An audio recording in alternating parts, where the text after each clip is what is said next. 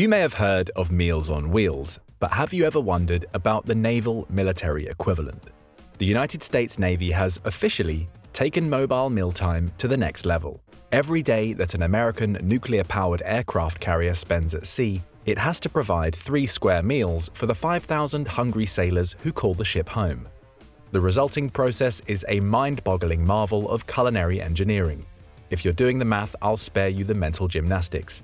That's over 17,000 meals, 7 days a week, 365 days a year. How, you ask, is this even possible? Let's find out. They say the way to someone's heart is through their stomach. This certainly applies to hungry American sailors of the US Navy. Aboard the most common aircraft carrier in the Navy fleet, the 100,000-ton Nimitz-class vessel, an average crew complement of between 5,000 and 6,000 sailors will spend months on deployment working, sleeping, and eating aboard their city at sea. Whether you're busy scrubbing the flight deck, flying an FA-18F Super Hornet, maintaining the nuclear reactor, or overseeing the arresting gear operation, the elementary needs of this crew are truly staggering. Feeding thousands of people in a relatively cramped space requires a Herculean logistical effort. On any given day, a carrier's crew can consume more than 1,600 pounds of chicken, 160 gallons of milk, 30 cases of cereal, and 350 pounds of lettuce, noted Chief Petty Officer Naomi Goodwin, herself responsible for preparing officers' meals aboard an aircraft carrier. Because carriers can spend months at sea, they often deplete their perishable items like fruits and vegetables before the deployment is complete. To compensate, they stock up with as much perishable food as possible at the beginning of a deployment. Once the fresh food disappears, canned or dried goods can only get you so far. To maintain morale as stocks dwindle, a carrier's supply crew is regularly in contact with wholesale distributors who work to replenish stocks whenever a carrier comes near a port. When US Navy warships have to resupply at sea, they use a process called underway replenishment. Getting the food aboard is probably the hardest part. The alongside connective replenishment method is the most common form of underway replenishment. When a supply vessel pulls up to the carrier, it must match its speed on a parallel trajectory, a daunting task in rough seas and choppy winds. Once in place, the two ships are connected by a hotline, followed by a much heavier duty messenger line, which facilitates the transfer of heavy pallets loaded with food, mail, fuel, and other supplies. Coasting across the open watery chasm separating the two vessels, the carrier's crew pulls in heavy palletized cargo and begins storing boxes of pineapples, tomatoes, apples, onions, potatoes, and more in one of the carrier's fluorescent-lit refrigeration and dry storage units. Replete with hanging ethylene filters that preserve products over longer periods by trapping gases that cause ripening, refrigeration units are traditionally located in a centralized area several decks beneath the galley. Vertically stacking galleys and storage areas was a deliberate design choice, giving cooks easy access to the ingredients they need at mealtime using hydraulic lifts and elevators. Resupply occurs every week or so, adding between 400,000 and 1 million pounds of food to the carrier's stocks. If necessary, supplies can also be delivered vertically via helicopter or light aircraft when the situation arises. The five galleys aboard the Nimitz commissioned in 1975 differ from their more modern counterpart, the USS Ford supercarrier, commissioned in 2017. While the ships have the same footprint, one journalist observed, space all over the Ford has been reimagined to make carrier life and work better and more efficient. Rather than five galleys, the Ford has two, one centralized in the aft section of the ship, the other forward to serve the carrier's air wing. Alright, so far so good. No one's going hungry anytime soon. But what about drinking water? You need a lot of it to hydrate thousands of sailors in what is often a hot and humid work environment. Luckily, modern aircraft carriers have world-class desalination facilities on board. These potable water plants work almost like a distillery. Water is superheated to steam, then condensed using cooled pipes. Minerals are added as the water is filtered for drinking and general use. All this is powered using the ship's nuclear reactor, which itself only has to be refueled every 25 years.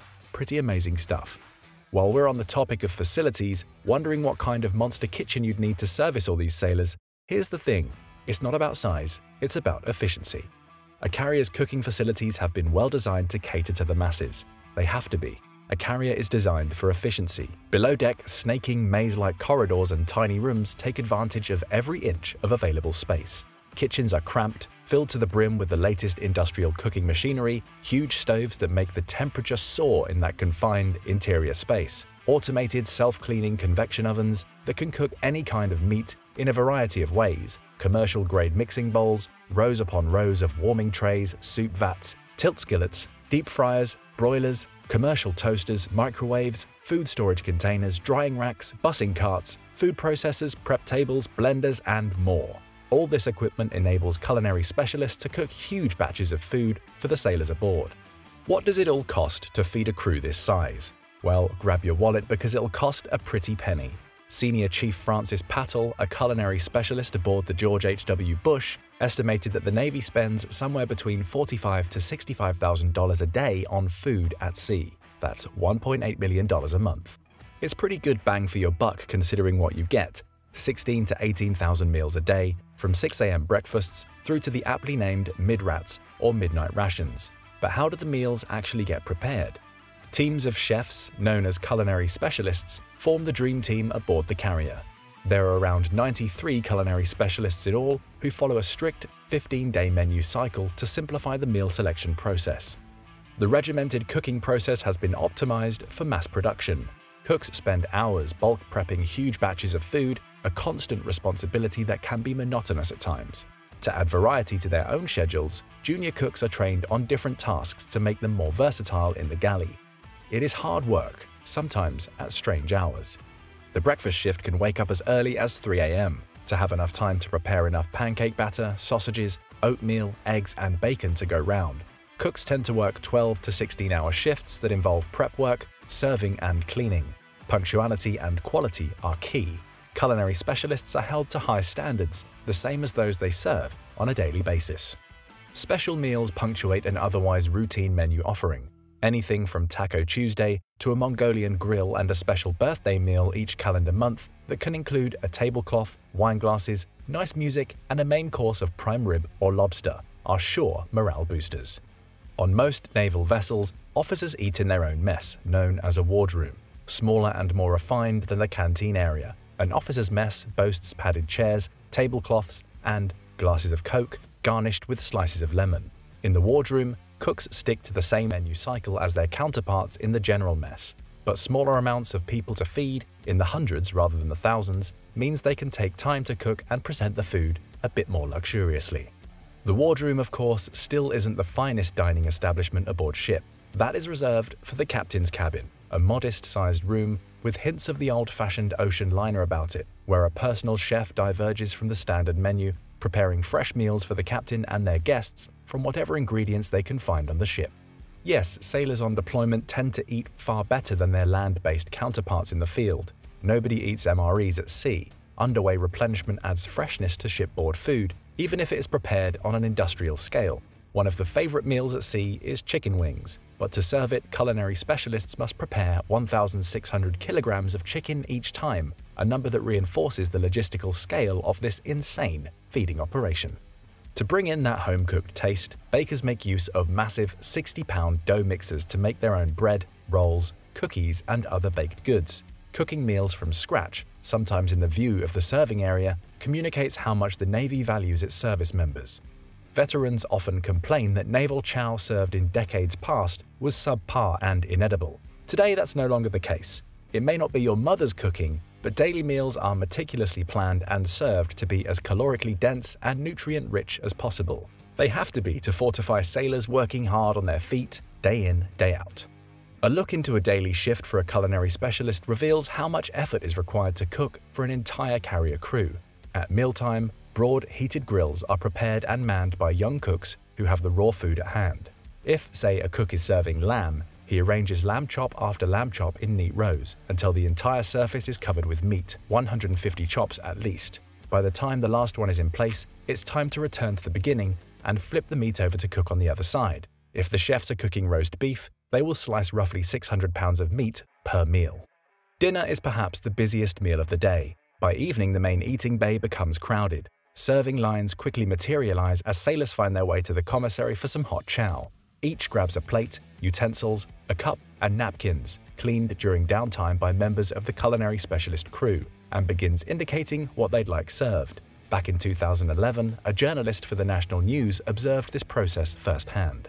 Mashed potato and steak with gravy is proving to be a popular choice, but there's also barbecue chicken, stir-fry, pasta, and chicken with tomato sauce on offer. Three young sailors, Jennifer Penna, Elvin Carmona Rivera, and Sarah Strong, are lingering in the cafeteria area, having just finished their meals. They say that while the food on board is perfectly fine, the special fried rice is a particular favorite. They do crave homemade rather than mass-produced meals. I look forward to eating something that's cooked from scratch, just for me, says Strong. This is okay, but you can tell it's been prepared for hundreds of people. Where the general mess doesn't satisfy a sailor's specific cravings, they can browse a small grocery store where different amenities like hygiene goods, razors, junk food, drinks are available to keep morale high at all times. Carrier grocery stores can make $10,000 a day, showing just how vital they are to the ship's daily operations. Even if it isn't the freshest or most gourmet offering, the fact that the Navy can provide hot chow thousands of miles from land in any condition is nothing short of a modern marvel. It is true that by the time naval sailors reach land once more, they are eager for fresh cooked food they might once have taken for granted. Wood-fired pizza, mum's home-cooked lasagna, freshly squeezed orange juice, and more are the tantalizing rewards of a deployment well done. This doesn't detract from the impressive service on display in the galleys and storerooms of America's aircraft carriers. The science and logistics behind the process of cooking at sea is truly impressive. Spending 7 to 10 months at a time at sea, cooking crews ensure that good food is prepared and delivered in spades on time every day. Have you ever tried Navy chow aboard an aircraft carrier or experienced anything like the Navy's feeding operation? Let us know in the comments, and don't forget to subscribe for more military analysis from military experts.